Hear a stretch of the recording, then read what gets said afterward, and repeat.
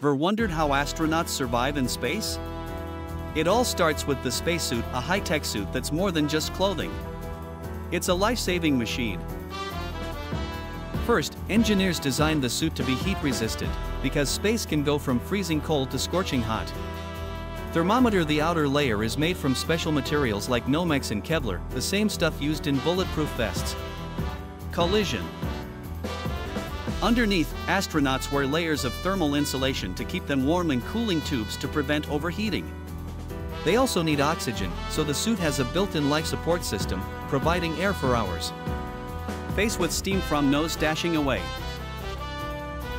But that's not all, there are 14 layers of material in total, making the suit both airtight and durable. To top it off, the helmet has a visor to protect against radiation and space debris.